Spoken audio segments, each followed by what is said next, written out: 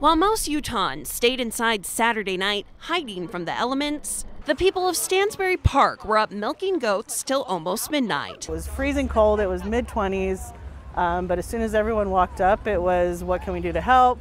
Where do you need us? Winds up to 64 miles per hour caused UDOT to ban high profile vehicles from driving on I 80. Two California goat farmers had to pull into this tractor supply 10 minutes before close to ask for help. So he had 50 goats and then 25 kids, which is the baby goats.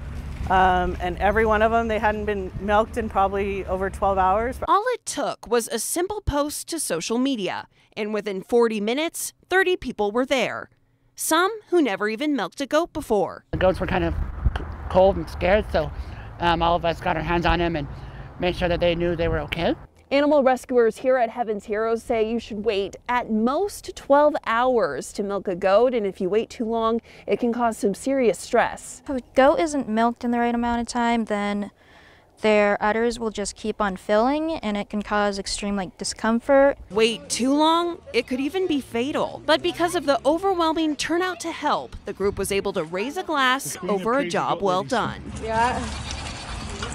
Brought out cups for everybody. So everyone, anyone that wanted to try some, they, they brought out their own jars if they were coming. It definitely restores your faith in humanity and people and the community and it just warms your heart. In Stansbury Park, Emily Tenser, Fox 13 News, Utah.